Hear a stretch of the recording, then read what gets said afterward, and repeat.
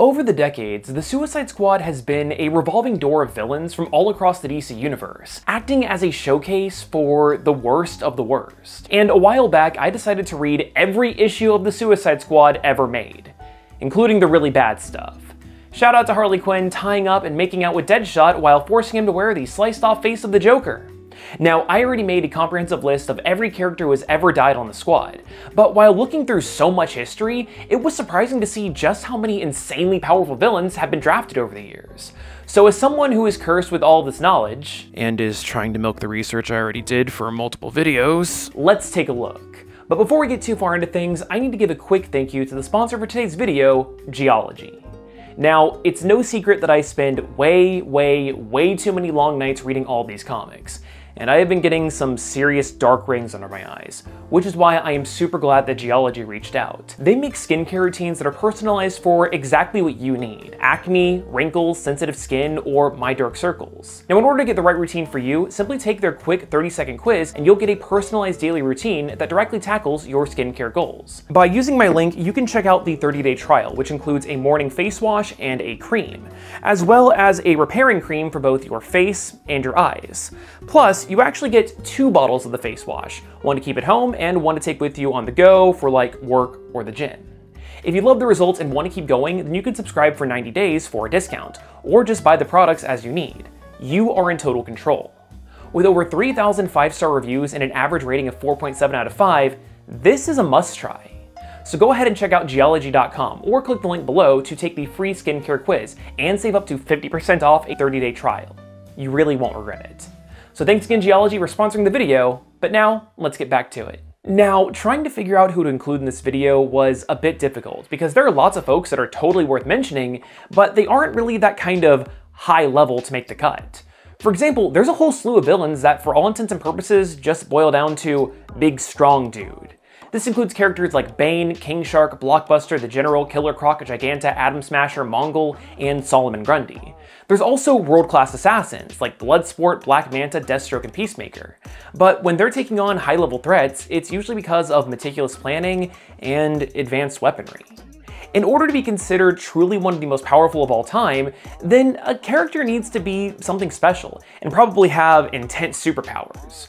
So let's hop in with this first batch, Superman villains. I mean, if you're able to go toe to toe with the most powerful superhero of all time, then you're probably pretty tough.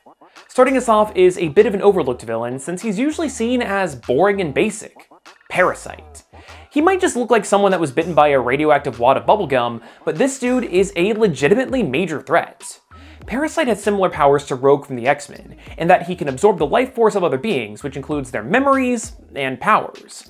However, he can also absorb pretty much any energy source, which makes every single long distance attack from superhumans more or less useless against him. And if you get too close for a melee attack, then you're putting yourself at being risk of being drained. Even without taking someone's life force, the Parasite is super strong and durable as is. For example, his time on the squad featured this scene of Parasite letting Harley Quinn shoot rockets at him for fun. That means that more or less every attack that you throw at him is useless, and if he's able to feed off someone like Superman, then he becomes somehow even more dangerous. Seriously, Parasite is a really overlooked villain, and he really needs more love. But if you're inspired to go check out some of his comics, then just know that multiple people have taken on this role, with two of them, Rudy Jones and Joshua Allen, having been on the squad. But to be completely honest, they are more or less interchangeable, so just read whatever. Back when Lex Luthor was president of the United States, he had Amanda Waller create a Suicide Squad made out of entirely Superman foes, like the aforementioned Parasite, but its leader was a much lesser known character named Manchester Black. This guy is a cocky, sarcastic, and overall just unpleasant dude, but he's also one of the most powerful psychics in the DC universe. His telekinesis is strong enough to lift heavy objects and throw Superman around like a rag doll, but it's also precise enough to target the apparently super durable capillaries in Clark's brain and pinch them to give him something close to a stroke. This only temporarily debilitated Superman, but for any other person, that would be an instant kill. But of course, Black isn't just a telekinetic. He's also a top tier telepath, who has been shown to be strong enough to control and influence dozens of supervillains at once, block mental probing from Martian Manhunter, and can rewrite memories to such a degree that he can basically make anyone forget anything. In recent continuity, Manchester Black was drafted on once again when he was kidnapped by Waller to be part of something called Task Force XI, a daisy chain of psychics that were forcibly used to power a big psionic weapon. Since then, though, he has been completely squad free. But here is something truly wild. Freaking General Zod was on the Suicide Squad. Yeah, as in the Kryptonian general with all the strength and powers of Superman. See, the team accidentally freed him from the Phantom Zone while on a mission, and they were able to knock him out since he wasn't at his full strength yet. Amanda Waller, being Amanda Waller, didn't hesitate to grab some kryptonite, which she of course had laying around in case Superman went rogue, and used it to put a bomb in Zod's brain. Now, General Zod is not one to take orders, especially from a human, and he only ran with the squad for a couple of missions before brutally removing the bomb himself with his heat vision. But oddly enough, Zod wasn't the only Kryptonian to join the squad. Kind of. Okay, so at the beginning of the 2021 series, it was revealed that Waller was able to get Superboy on the team. He's far from the first hero that Waller got her hands on, but his presence just seemed off. His memories were hazy, and he was wearing the t-shirt and jeans look from the mid-2000s, which is a major contrast to the last time that we saw him, rocking the classic leather jacket look. Now, changing costumes isn't a big deal and normally wouldn't be the cause for alarm, but because of the way, way, way too complicated multiversal shenanigans that would require its own video to explain, Superboy's existence is... was... tricky. That combined with the abrupt wardrobe change caused fans to speculate that these were in fact two separate characters. And surprise, they were. It turns out that the Suicide Squad Superboy was actually Match, a clone of him from the 90s. Yeah, since Superboy is already a clone, that makes Match a clone of a clone, which clearly isn't good for the old genetic code, because over the years, Match started to deteriorate, becoming a dumb and hulking shell of his former self. It also turns out that Waller was using a serum to stabilize Match and also implanted false memories in his head, hence the amnesia and him thinking that he was the real deal. But the jig was up when the actual Superboy came face to face with him. Oh, and Waller was also making clones of Match, clones of a clone of a clone. At the time of this recording, Match is still on the active Suicide Squad, and I am personally really excited to see what they do with him moving forward, because honestly, I think that this is really fascinating shit. But okay, let's get off of these Superman-related characters. The Enchantress is one of the founding members of the Suicide Squad all the way back in 1986, and she has been on a lot of incarnations of the team. She is also one of the most powerful magic users in the DC universe, and can pretty much do anything because magic.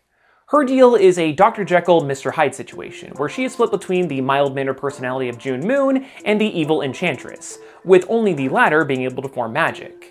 June originally joined the team in hopes of getting her Enchantress persona under control, and in the recent continuity, she was kept on the squad by her love for fellow teammate Killer Croc. I know that probably sounds weird, but the dynamic between the two of them kind of worked, and there was actually a fun issue that revolved around how the rest of the world perceived her relationship with the big crocodile man and how everybody needs to kill him with fire. Also, June worked on Suicide Squad Black, a special team that was formed to handle magical threats. That team's leader was El Diablo. He is an extremely powerful pyrokinetic that's been on both versions of the squad for a good while. He's kind of like Ghost Rider over at Marvel Comics, in that he gets his powers from a Demon of Vengeance. This guy is an unstoppable force to his very core, and he can burn people like crazy. And when I say unstoppable, I really mean it, because when El Diablo dies, the Demon of Vengeance just brings him back to life over and over and over again. Though, despite Retribution being his entire thing, El Diablo is currently a pacifist, only killing when it's truly necessary. And that puts him at odds with the demon inside of him, but when it comes down to it, El Diablo can fully let the demon inside of him and transform into a huge fire beast of seemingly limitless power. Now, going from extreme heat to extreme cold, there's Killer Frost. Now, there have been a couple of characters that have taken up this mantle and have been a part of the Suicide Squad, but while Louise Lincoln is pretty much just a chick with ice powers, Caitlin Snow is on a whole different level. See, Caitlin is a quote-unquote heat vampire, and the more heat that she absorbs, the stronger and more dangerous she becomes. Outside of a compelling inner struggle and solid character development, there's not much to Killer Frost that's all that different from any other run-of-the-mill ice user. But the heat that Caitlin can absorb can come from all sorts of places. Like, for instance, Superman. He's powered by solar energy, and when the Suicide Squad fought the Justice League, Killer Frost was able to drain Supes of almost the entirety of his energy reserves, which was accidentally converted into an ice storm so powerful that it incapacitated the entire Justice League. This lady is a stone cold killer. Keeping with the elemental theme, Poison Ivy was actually on the Suicide Squad for a bit. Although this was in 1990 and Ivy wasn't nearly as strong as she is today, where she's able to literally take over the entire planet and communicate through any being through a leafy hive mind, but still, she's always been a major threat. Poison Ivy has complete control over plant life and everything that entails. She can restrain people and destroy buildings with massive vines, create toxins and poisons, control folks with their pheromones, and even create clouds of THC. You can obviously thank Kevin Smith for that when he wrote Batman the Widening Gyre. And totally unrelated, but that book also had this panel. And I love it. Honestly, even though it's fantastic that the Suicide Squad is a spotlight for lesser known villains in the DC universe, it's still always a treat to see Batman baddies show up from time to time, because they are some of the best and most iconic that the company has to offer. I mean, I know that Deadshot and Harley Quinn are mainstays at this point, but I love the occasional penguin. Next up, Lashina. She is one of the new gods, a literal godlike race that lives outside of conventional reality. Specifically, Lashina is a member of the Female Furies, an elite and highly skilled team of warriors trained to serve the ruler of Apokolips, Darkseid. Lashina was stranded on Earth after a mission when she was pushed out of a boom tube by one of her jealous teammates, and in order to find a way back home, Lashina takes up the identity of Duchess, and gets roped into the Suicide Squad, which she actually stays with for a good while before hitching a ride back to Apokolips. Then there's Chemo. It's not really a person, but rather a huge sentient vat of toxic waste.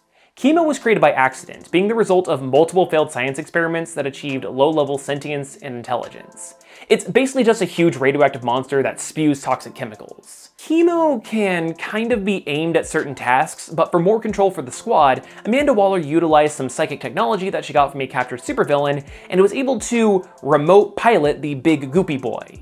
Also, whenever she's controlling it, Chemo basically turns into a huge green Waller, and that's... that's terrifying. Alright, so this one is actually really strange. Grant Morrison is one of the most famous writers over at DC Comics, and during their incredibly influential series Animal Man, the book got extremely meta and played with the idea of writers and their creations, culminating in Animal Man actually meeting Morrison.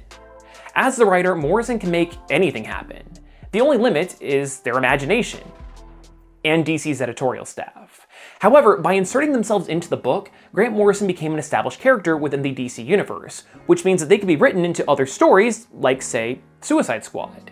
It's never explained how Morrison was found or what kind of leverage was used to get him on the squad, but even though the fictional Morrison was being handled by a different writer entirely, something the character makes sure to comment on, they still seem to have omniscient power, being able to type things into existence. Armed with a mobile keyboard, Morrison was thrown into the field with the rest of the squad, only to be plagued by the death of all authors, writer's block. And this is literal death, because unable to think of what happens next, Morrison was left vulnerable and was taken out in the heat of battle. If we want to talk about breaking the fourth wall, though, we have to talk about Ambush Bug. Basically, Ambush Bug is DC's Deadpool, an annoying little shit who's constantly breaking the fourth wall and making attempts at being funny, which frequently fall flat. Fun fact though, Ambush Bug was actually made before Deadpool and was doing the whole routine years before the Merc with the Mouth went from a generic gun for hire with a couple of jokes to the walking meme that he is today. As a comedy character, Ambush Bug can do whatever he wants, logic be damned. He was first brought into the Suicide Squad in the 80s, but in a very small cameo that was so easy to miss that I reread this issue multiple times specifically trying to find him and missed it every time. There he is, right there. However, Ambush Bug was given a more upfront and extremely in-your-face role in the pages of the 2021 series, and it's clear that DC is seriously trying to court the Deadpool crowd, but they completely missed the mark with him and derailed what was a halfway decent book into something that is just painful to get through. Some comedy characters are a bit more enjoyable though, such as the main man, Lobo. This dude is 90s incarnate, a crude, overpowered edgelord that's too cool for school. He's super strong, extremely durable, can survive the vacuum of space without any kind of protection, and has what is probably the most extreme healing factor in all of comics. Yeah, Lobo can regenerate himself from a single drop of blood, which he can also use to make infinite duplicates of himself. In recent continuity, Lobo was a member of the first ever Suicide Squad, but because of his absolutely insane healing abilities, a bomb in the head really wasn't good enough motivation for him to join in. And we've actually seen his head be blown up before and grow back. So, what could possibly be used to bring Lobo into the fold? Simple cold hard cash. Hell yeah.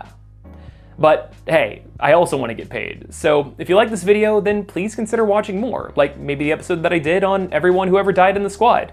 I'd really appreciate it. But also, please consider subscribing. I've got a lot more videos planned, and I think you might like them. So yeah, hope you enjoyed this, and maybe I'll see you next time. Bye.